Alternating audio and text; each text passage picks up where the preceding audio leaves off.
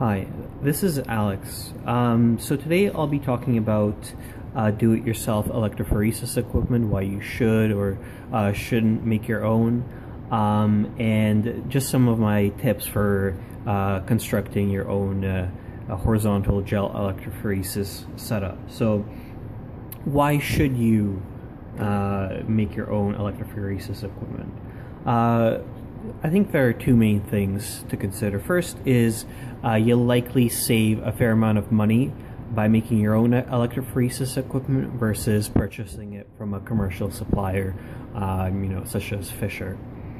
Uh, the second thing is that the product that you make will likely be uh, more durable uh, and will last you longer than anything that you can really buy commercially. So um, that's two main reasons why making your own would be a good idea, uh, especially if uh, you know you're starting a new lab or you're a biohacker and you're uh, just trying to get into um, uh, gel electrophoresis. You can do so with very little money uh, and come out with a good product uh, by making your own.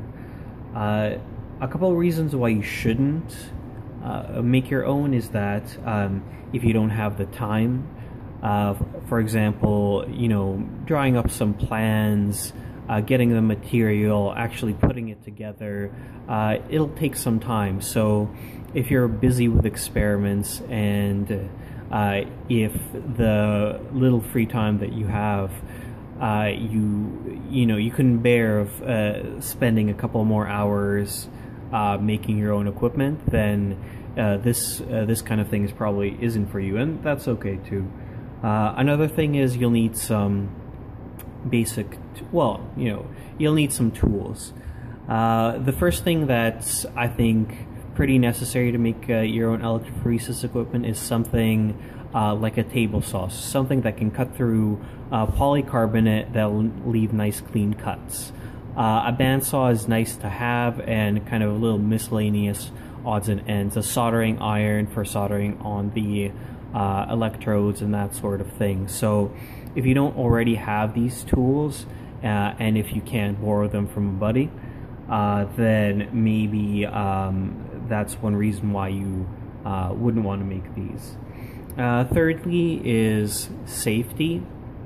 So a lot of commercial lab equipment, or sorry, commercial electrophoresis equipment uh, will come with lids that fit over the entire gel chamber, uh, and they have the electrode uh, uh, receptacles built in, so that basically you can only disconnect it by removing the lid, uh, and it reduces your chance of electrical shock because it's much harder to complete the circuit uh, through the lid. Um, basically, uh, whether or not it's necessary is kind of an interesting issue. I think the manufacturers build it in as a liability thing.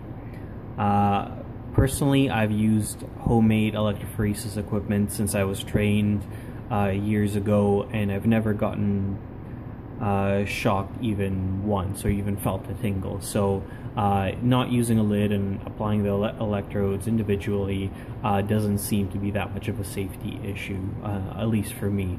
But it's something that you may want to consider, and also, you know, liability, right? Uh, so if you do decide to go down the path of uh, making your own equipment, um, you want to look at what materials that uh, you'll need. Uh, a sheet of Lexan um, that's about you know three millimeters thick will cost you about 15 bucks. Uh, something that's about 10 millimeters will cost you know, maybe 30 or 40. Uh, but out of one sheet, you can get you know at least three or four of these. Um, three or four of these gel casting trays, and you can get maybe get one or two uh, gel casting chambers. Uh, so just to get into the cost a little bit, a commercial setup, uh, so that includes one gel casting chamber, uh, it includes one uh, gel casting uh, tray, and maybe one or two combs, depending on which kit you get, will run you about, let's say, 300 bucks easily. Uh, if you break this, uh, that's another 75 bucks from the manufacturer. You would be lucky to find it any cheaper than that, and uh, very likely it'll cost you more. Um, replacement combs, uh, same thing, probably 30 bucks a piece, 20 bucks a piece, uh, maybe more. Uh, maybe you can buy them in bulk, but I haven't seen uh, good alternatives um, other than that. So that's for you, what you're looking for in cost. The cost of making your own, so uh, 15 bucks uh, for maybe three or four of these, so maybe five bucks a piece, four bucks a piece. for the actual chamber, I don't know, maybe 20 bucks. Um, you also have to factor in the uh, electrodes, the banana jacks, uh, as well as the electrode wire material that you use. So, uh, traditionally speaking, um, electrode wire was made with platinum wire. Uh, however, you know, it's kind of expensive a bit, hard to get a hold of. I happen to have a whole box here, scavenged from various equipment, but if you can't get a hold of it, um, there is an alternative. Uh, it's called Monel wire, uh, and it's a basically uh, corrosion resistant type of wire used in boat building applications, which uh, won't corrode the moment that you turn on uh, your power supply. Uh, so, those are essentially the materials you'll need. So, some kind of polycarbonate. Um, uh, different thicknesses. Uh, you'll need banana jacks uh, and electrode wire. Uh, so there are a lot of there are a couple of different plans that you can use for making electrophoresis equipment. Uh, one guy called Abizar Lakdawala, uh, he made a really nice video of his design. The University of Utah did a really, really nice write up uh, and they give you a full bill of materials, how to construct it, etc. Um, so there are plans available, uh, but really, you don't necessarily have to follow them. Uh, as long as it's you know generally this size, generally this shape, uh, you can make your gel chambers and uh, your uh, casting trays even bigger if you like, if you want like gigantic gels, or you can make them smaller. The exact size doesn't particularly matter, the exact dimensions don't matter, uh, as long as your um, trays fit in your chamber uh, and you know there's room for buffer, uh, you can't really screw this up. Um, yeah, so you can follow plans, but don't be too. Uh, I, I, would say be creative, uh, make your own design. Uh, that's what I would do. Uh, so you'll need a gel chamber. Uh, you'll need to make some trays. Um, you know, this is the profile of my design. It's pretty simple, fits right in there. Uh, and then as for combs, um, you can make them in many, many different ways. So uh, this is one of the first combs that I got 3D printed. I got it from Shapeways uh, and it's held up actually for almost you know two years, three years of abuse. Uh, was actually a pretty good investment. It cost me you know maybe eight bucks each to get printed, but they've lasted a long time. My homemade 3D printed combs, uh, they're less durable. They only last for a couple of months, and then the teeth start coming off. But you know, uh, they do work well for a while. What I've been finding luck with recently uh, is just cutting combs out of uh, sheets of uh, PTFE or Teflon, uh, and that works quite well.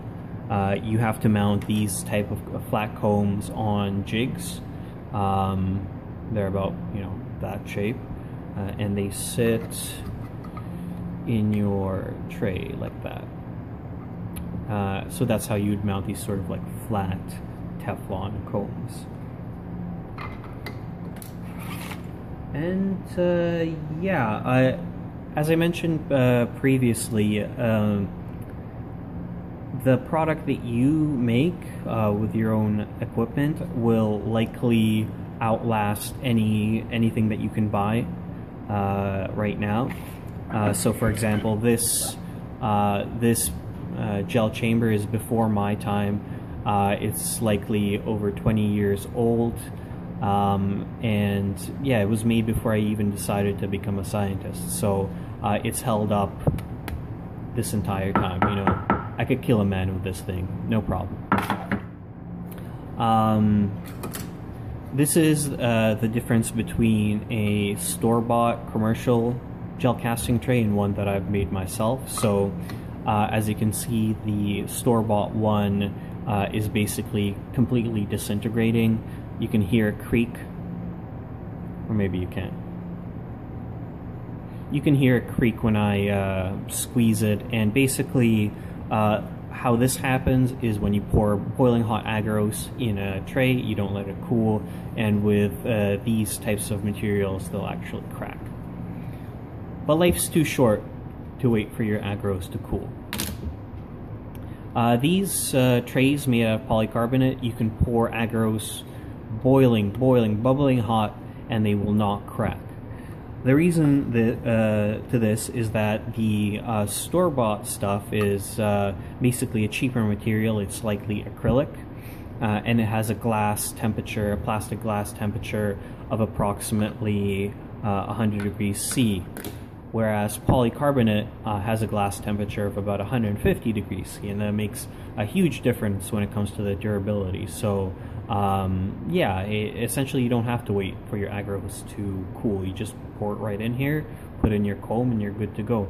Uh, no waiting required. So I really think that most commercial manufacturers uh, cheap out on the material, uh, and their gel um, chambers use much thinner material. So um, yeah, uh, you can break them very very easily. So yeah, I, I think I covered most of the reasons, or, or most of the reasons why you wouldn't, why you would and wouldn't want to make your own gel electrophoresis equipment. Uh, like I said, you don't have to follow exact plans as long as it looks something like this. It will go. I, I believe you me. Um, we do, I think, very good research with this kind of equipment, uh, and we've never had to buy uh, commercial gel equipment.